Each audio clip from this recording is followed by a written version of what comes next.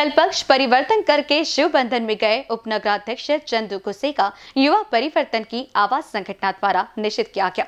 सत्ता की रोटी सेकने के लिए जनता के प्रश्न को हल करने का काम नहीं करते हुए हर पाँच वर्ष में खुर्ची को चिपके रहने के लिए दूसरे पक्ष में जाते हैं। तब आज एक खुर्ची खाली होते ही युवा परिवर्तन संगठन आज उसकी सफ़ाई की है।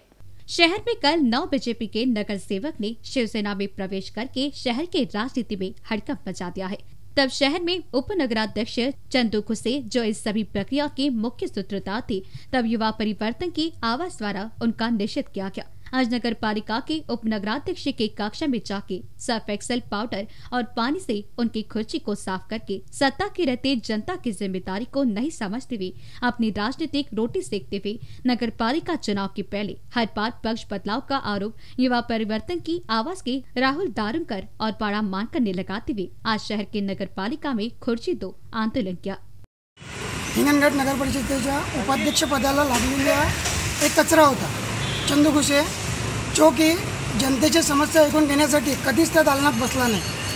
आणि त्यानंतर कधी समस्या ऐकून घेतल्या नाही आणि समस्येचे निराकरण करणं दूर ज्या जनतेने त्यांना कायम विश्वासात घेऊन त्यांच्या पारड्यात मताचा जोगवा टाकला त्या जनतेच्या नेहमी स्वतःच्या आर्थिक फायद्याच्या राजकारणासाठी त्यांनी प्रत्येक निवडणुकीत पक्षबदल करून जनतेचा भ्रमनिराश केला.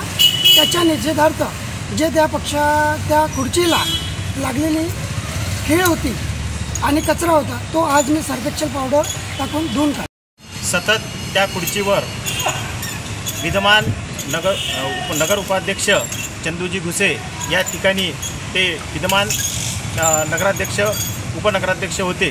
त्यांनी जनतेच्या कुठल्याही न्यायाच्या आणि हक्कासाठी त्यांनी कुठलीही मदत या खुर्चीच्या माध्यमातून केली नाही. त्यांनी सतत जनतेला विश्वासात न घेता स्वतः त्यांना फक्त धोक्यात ठेवून स्वतःचं आर्थिक राजकारण पुढे आणून त्या आर्थिक राजकारणाच्या आणि स्वतःचा पाठबळ वाढवण्यासाठी त्यांनी हा असा उपक्रम करून बीसीएन न्यूज के लिए हिंगन घाट से रवि येनुरकर की रिपोर्ट।